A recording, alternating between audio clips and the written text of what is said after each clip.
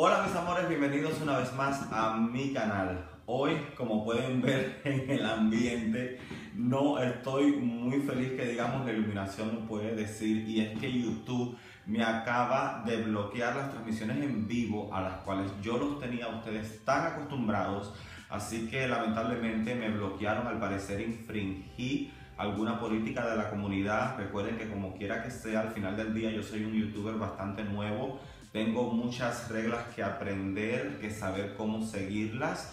Y entonces al parecer pues nada, me pasó factura. Ya me comuniqué con el Centro de Apoyo para Creadores de YouTube. Espero que puedan quizás perdonarme por esta vez. Si no me pueden perdonar, pues entonces me parece que son tres meses que voy a estar bloqueado, pero bueno, por lo menos podré seguir publicando fotos, encuestas y podré seguir eh, subiendo mis videos. Como les había comentado en el grupo que tenemos por WhatsApp a muchos de ustedes y como también lo había anunciado hoy por mi Instagram, en el cual me pueden seguir si aún no lo han hecho, Anika-Leclerc, pues resulta que Adore Delano se fue en contra de Trinity Taylor, pero con todo, caballero, con todo.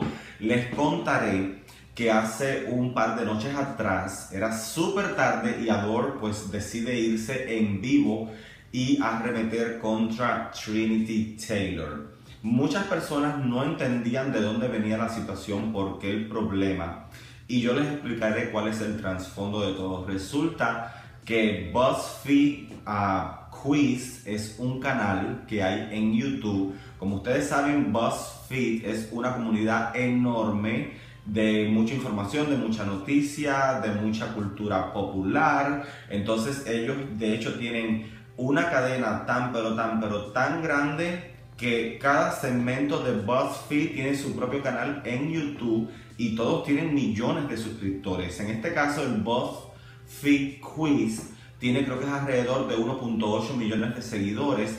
Y entonces, algunas de las chicas de la cuarta temporada de All Stars fueron invitadas por este canal para hacer un quiz donde ellas tenían que estar escogiendo a diferentes chicas anteriores de RuPaul Drag Race y pues elegir cuál de ellas pues ellas escogerían, ¿no? Pues como para eh, querer ser ellas o personificarlas o hacer lo que ellas hicieron o en fin, es de cierta manera casi que rindiéndole un tributo al trabajo de las que ya han pavimentado el camino en el reality.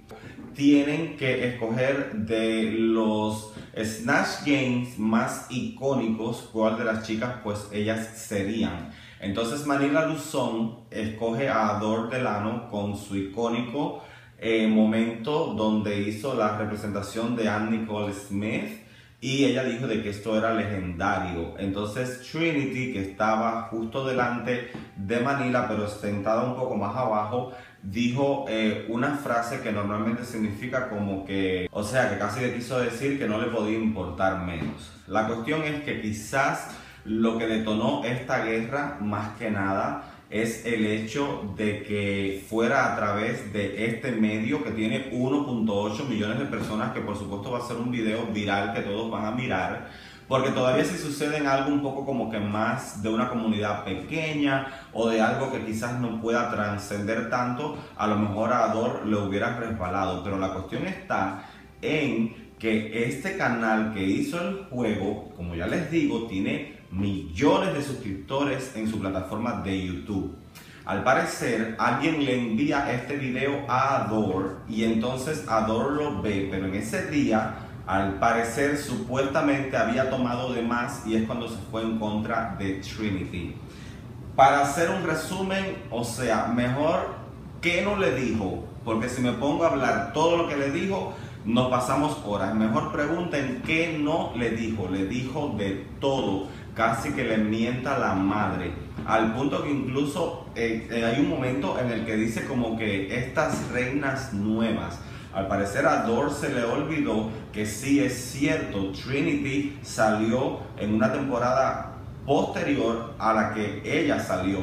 Ador salió en la 6 y Trinity salió en la 9. Pero si nos vamos a juzgar por carrera, por trayectoria, obviamente Trinity Taylor lleva siendo 15 años de drag y muy bueno. Y sin embargo, Adore era una persona que llegó al show siendo un baby drag. No era nadie dentro del ámbito drag. Ella sí tenía muy buena voz, había participado en el American Idol, pero fuera de eso, como drag. Y es de hecho lo que tuvo ella que lidiar en su temporada fue con esa estética tan pobre que tenía que de verdad que era muy buena su personalidad, muy bueno su talento, pero no vendía tanta imagen en lo que es hablando de estar pulida porque no tenía la experiencia. Lo cierto es que, bueno, yo creo que al final del día Ador terminó borrando el video. Al parecer después cuando ella se levanta lúcida, se dio cuenta de que lo que había hecho había estado muy feo. Entonces pidió disculpas públicamente a través de sus redes sociales y también le pidió disculpas no tanto a los seguidores, sino también como a la mismísima Trinity. Le dijo de que ella la quería mucho, que le gustaba no se tomara las cosas muy a pecho y que le echara toda la culpa a Bianca del Río porque era la que la había puesto en ese estado de ebriedad. Los fans a través de todo este drama pues entonces siguen hostigando a Trinity. Trinity a todo este momento pues decide sin mencionar directamente primero a Ador dar una respuesta en la que dice de que ella no va a estar eh, pues como que inmiscuyéndose en problemas, en drama, de que ella pues entiende de que dos chicas del show pues se tienen un poco de shade, en fin, hasta que ya después sí hace otro tweet en el que le dice a Dor que la respeta, que la quiere mucho y que no se toma las cosas personales. Bueno, en fin, que entre las dos todo públicamente queda pues ya arreglado. Y eh, de esta manera termina así pues toda esta situación.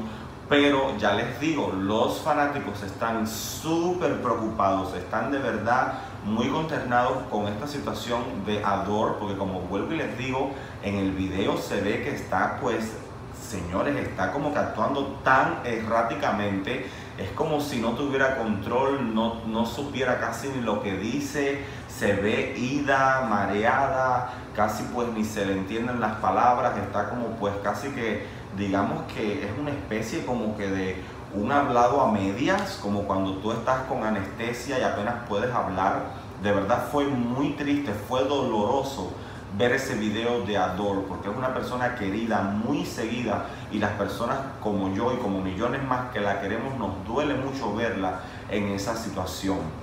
Entonces, ya que estamos hablando de una chica de All Stars 4, que está en guerra o estuvo en guerra con una chica de All Stars 3, pues me parece que ya también es importante que eh, nos vayamos a adentrar un poquitico más en el tema del capítulo 2 de All Stars 4 que va a salir este viernes.